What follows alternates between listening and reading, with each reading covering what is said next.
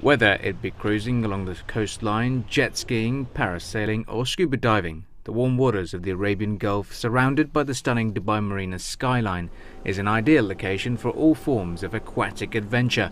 Joining the list of water sports on offer in the country is free diving, an exhilarating experience of going underwater in one breath using just a diving mask and a pair of fins. If you were to ask uh, anyone on the road how long they could hold their breath, uh, most likely they'll say 45 seconds or a minute. Uh, what they don't know is that in a free diving course anywhere in the world, uh, they invest two days of their time and they can learn how to hold their breath for three minutes and how to dive up to 20 meters over the course of two days or even a day and a half.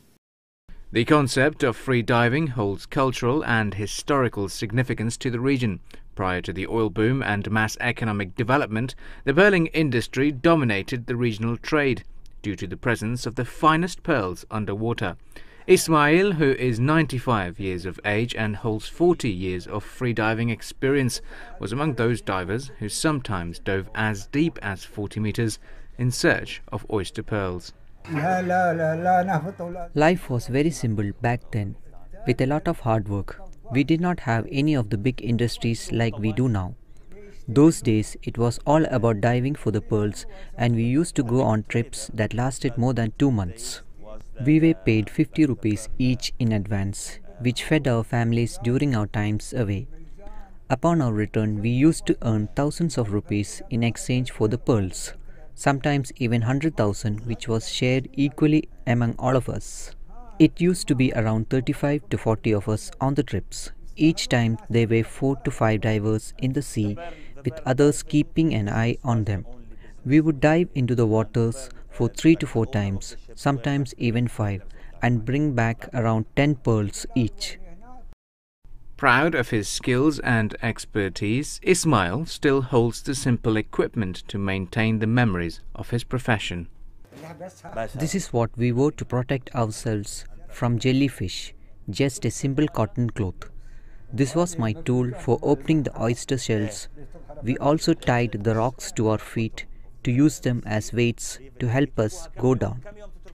I know these days people go underwater wearing cylinders, but it's about experience. I could go down as deep as 35 meters in a single breath and bring back around 10 pearls. Our waters are also good for fishing.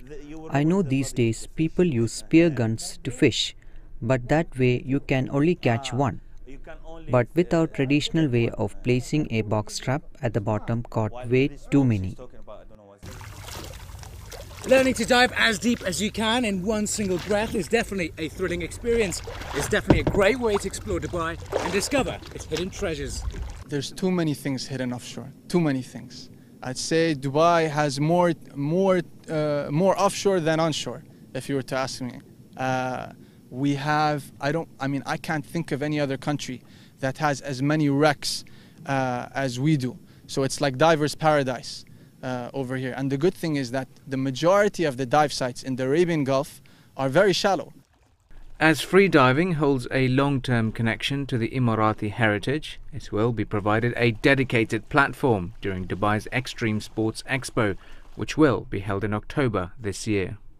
Why we had to do uh, an, an, area dedicated to free diving, obviously being in the Emirat and free diving being such a popular sport, uh, given the, the historical background behind it, the pearl divers, it's been it's been it is the, the you know you could say one of the traditional sports of the UAE.